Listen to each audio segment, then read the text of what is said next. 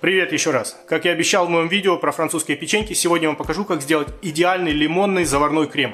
Рецепт просто жутко простой. Возьмем 100 граммов лимонного сока. Кстати, его можете выдавить из тех лимонов, с которых мы кожуру содрали для печенья.